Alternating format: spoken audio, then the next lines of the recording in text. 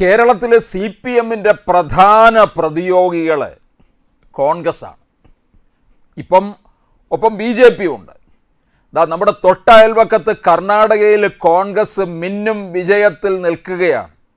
അവരുടെ സത്യപ്രതിജ്ഞാ ചടങ്ങിന് വിളിക്കാത്തതിന്റെ പേരിൽ സി പി എം ഇപ്പോൾ ആകെ കൂടി ഒരു കൊതിക്കെറിവിൽ നിൽക്കുകയാണ്. മുഖം വീർപ്പിച്ച് നിൽക്കുകയാണ് സി പി എം നേതാക്കന്മാർ ദേശീയ നേതൃത്വം തന്നെ ഇപ്പോൾ ഉണർന്നിരിക്കുകയാണ്. കാരണം ദേശീയ തലത്തിൽ വലിയൊരു പ്രതിപക്ഷ നിര കെട്ടിപ്പടുക്കുന്നതിൽ സി പി എമ്മുമാണ് മുൻകൈയെടുത്ത് കോൺഗ്രസിനെയും കൈക്ക് പിടിച്ച് നടത്തിക്കൊണ്ടിരിക്കുന്നത്. നമുക്കറിയാം സോണിയാഗാന്ധിയുടെ പിന്നെ അടുക്കളക്കാരനായിട്ട് നിൽക്കുന്ന ആളല്ലേ സീതാറാം യെച്ചൂരി. അങ്ങനെയൊക്കെ നിന്നിട്ട് പോലും ദാ പിന്നെ അവിടെ കർ- കർണാടകയിൽ വിളിച്ചിട്ടില്ല. ബാക്കി പലരെയും ഒക്കെ വിളിച്ചിട്ടുണ്ട്. സത്യപ്രതിജ്ഞ ഇപ്പം നാളെയാണ്. ഇപ്പം ഇ പി ജയരാജൻ രംഗത്ത് വന്നിട്ടുണ്ട്. ഇ പി ജയരാജനെ കുറച്ച് നാളായിട്ട് നമ്മൾ കാണുകയും കേൾക്കുകയോ ഒന്നും ചെയ്യുന്നില്ല. ജയരാജൻ എന്തോ കർണാടകയിലെ കോൺഗ്രസിനോടൊരു വല്ലാത്തൊരു പ്രതിപത്തിയുണ്ട്. എന്തായാലും അതിന്റെ ദേഷ്യത്തിൽ അദ്ദേഹം പിന്നെ വളരെ പ്രസ്താവനകൾ വരെ ഇറക്കിയിരിക്കുകയാണ്. ദേശീയ രാഷ്ട്രീയത്തെ ശരിയായി നിരീക്ഷിക്കാൻ കോൺഗ്രസ്സിന് കഴിയുന്നില്ല എന്നാണ് പറഞ്ഞിരിക്കുന്നത്. ഈ നിലപാടെങ്കിൽ കർണാടകയിൽ അധിക നാൾ ഭരിക്കില്ലെന്ന് ജയരാജൻ പറഞ്ഞിരിക്കുന്നു.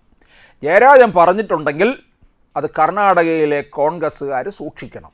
കാരണം ഇ പി ജയരാജൻ ഒന്ന് നാവെടുത്ത് വളച്ചപ്പോഴേ നമ്മുടെ ഇൻഡിഗോ വിമാന കമ്പനി തിരുവനന്തപുരത്ത് നിന്ന് കണ്ണൂരിലേക്കുള്ള വിമാനയാത്രകളൊക്കെ കുറേ നാൾ മുടങ്ങി. അവരുടെ ഫ്ലൈറ്റുകളെല്ലാം റദ്ദ് ചെയ്തു. കമ്പനിക്ക് ഭീമമായ നഷ്ടമുണ്ടായി എന്നാണ് പറയുന്നത്. കാരണം ജയരാജൻ അങ്ങനെയൊന്നും വെറുതെ പറയത്തില്ല. അദ്ദേഹം പറയുന്നതൊക്കെ വളരെ ആധികാരികതയോടുകൂടിയാണ്. എ കെ ഇ സെന്ററിൽ പൊട്ടാസ് പൊട്ടിയപ്പോൾ അത് ബോംബാണെന്നും ഒക്കെ നമ്മളെടുക്കെ പറഞ്ഞു തന്ന അദ്ദേഹമാണ്. അത് എവിടെ നിന്നാണ് വന്നതെന്നും ഒക്കെ ഇന്ദിരാഭവനിൽ ഉണ്ടാക്കിയ ബോംബാണെന്നൊക്കെ അദ്ദേഹം കൃത്യമായിട്ട് പറയുകയുണ്ടായി. അദ്ദേഹം പിന്നെ സി പി എമ്മിന്റെ ഈ സ്ഫോടന വിഭാഗം കൈകാര്യം ചെയ്യുന്ന ആളുകൂടിയാണ് അതുകൊണ്ട് ജയരാജന്റെ ഈ മുന്നറിയിപ്പ് കർണാടകത്തിലെ സിദ്ധരാമയ്യയും ശിവകുമാറും ഒക്കെ പിന്നെ സൂക്ഷിച്ച് എടുക്കേണ്ടിയിരിക്കുന്നു. അധിക നാൾ നിങ്ങൾ പോകത്തില്ല. അപ്പോൾ ഇ പി ജയരാജന്റെ വാക്കുകൾ കേട്ടിട്ട് ഇനിയും ബി ജെ പിക്കാരവിടെ സന്തോഷിക്കുകയും വേണ്ട കേട്ടോ. അപ്പോൾ ഈ നിലപാടെങ്കിൽ അങ്ങനെയാണ് കർണാടകയിൽ അധിക നാൾ ഭരിക്കില്ല. ബി ജെ പിയുടെ ഫാസിസ്റ്റ് ജനാധിപത്യ വിരുദ്ധ നടപടിക്കെതിരെ ഇന്ത്യൻ ജനതയെ യോജിപ്പിക്കുക എന്ന ദൗത്യമാണ് സി പി എമ്മിനുള്ളത്. അപ്പോൾ എല്ലാവരെയും കൂടി ഏകോപിപ്പിക്കുന്ന ഒരു ചുമതലയാണ് സി പി എമ്മിന് കൊടുത്തിരിക്കുന്നത്. മിക്കവാറും ദേശീയ തലത്തിൽ ഇ പി ജയരാജന് തന്നെ അതിന്റെ ഉത്തരവാദിത്തം കൊടുക്കാനുള്ള സാധ്യതയുമുണ്ട്. കേരളത്തിലെയും തെലങ്കാനയിലെയും മുഖ്യമന്ത്രിമാരെയാണ് ക്ഷണിക്കാത്തത്. ആ ക്ഷണിക്കാത്തതിൽ പ്രകാശ് കാരാട്ടും രംഗത്ത് വന്നിട്ടുണ്ട്. പ്രകാശ് കാരാട്ടും വളരെ ഇതൊരു സങ്കുചിത രാഷ്ട്രീയമാണ് കളിക്കുന്നതെന്നാണ് പോളിറ്റ് ബ്യൂറോ അംഗം പ്രകാശ് കാരാട്ട് വന്നിരി പറഞ്ഞിരിക്കുന്നത്. മറ്റൊരു പോളിറ്റ് ബ്യൂറോ അംഗം ബേബി സഖാവ് ഇതുവരെ ഇങ്ങോട്ട് ഇറങ്ങിയിട്ടില്ല. അദ്ദേഹം ഇനി അതിന്റെ ഒരു താത്വിക വിശകലനവുമായിട്ട് വളരെ വൈകാതെ തന്നെ വരുമെന്ന് നമുക്ക് പ്രതീക്ഷിക്കാം. ഒന്നുമല്ലേ പിന്നെ കോൺഗ്രസ്സുകാർ ആലോചിക്കണം ഈ ത്രിപുരയിലൊക്കെ പിന്നെ കോൺഗ്രസിന്റെ കൈക്ക് പിടിച്ചുകൊണ്ട് നടന്നത് സി പി എം ആണെന്നുള്ളത്. അവിടെ ഒന്നുമില്ലാത്തടത്തു നിന്ന് രണ്ട് മൂന്ന് സീറ്റ് വാങ്ങിക്കൊടുക്കാനും ഒക്കെ കഴിഞ്ഞല്ലോ. അതൊക്കെ സി പി എം ആണെന്ന് മനസ്സിലാക്കണം. ഇവിടെ നിങ്ങൾ എന്തെങ്കിലുമൊക്കെ ആയിക്കോ. അതുപോലെ ഹിമാചൽ പ്രദേശ് നിങ്ങൾ അവിടെ സി പി എമ്മിനെ ഇല്ലാതാക്കുകയും ചെയ്തു. എന്തായാലും നിങ്ങൾക്ക് ത്രിപുര ബംഗാൾ ഇങ്ങനെയുള്ള സംസ്ഥാനങ്ങളിലൊക്കെ ഒരു തുണയാണ് എന്നുള്ളത് മനസ്സിലാക്കുന്നില്ല. അങ്ങനെ ഒരു തുണയായിട്ട് നിൽക്കുന്ന സി പി എമ്മിനെയാണ് നിങ്ങൾ തൊട്ട് കളിച്ചിരിക്കുന്നത്. സി പി എം എന്ന് പറയുന്നത് ഇന്ത്യയിലെ വലിയൊരു വിപ്ലവ പാർട്ടിയാണെന്നുള്ളത് മനസ്സിലാക്കുന്നില്ല ഇവരാരും. പ്രത്യേകിച്ച് നമ്മുടെ പിണറായി വിജയൻ എന്ന ഇരട്ടച്ചങ്കന്റെ യഥാർത്ഥ സ്വഭാവം സിദ്ധരാമയ്യയും ശിവകുമാറും അറിഞ്ഞിട്ടില്ല. അത് അറിഞ്ഞു കഴിഞ്ഞാൽ ഇവിടെ വരും. തിരുവനന്തപുരത്ത് വന്ന് ക്ഷണക്കത്തുമായിട്ട് കൊടുത്ത് കാലിത്തൊട്ട് വന്ദിച്ചിട്ട് പോകും.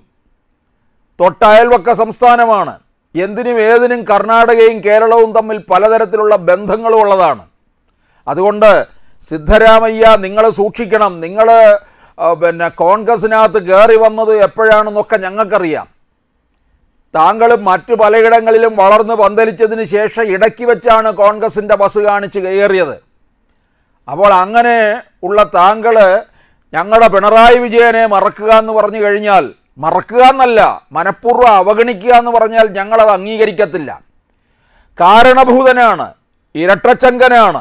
ഊരിപ്പിടിച്ച വാളുകൾക്കിടയിലൂടെ പോയിട്ടുള്ളവനാണ്.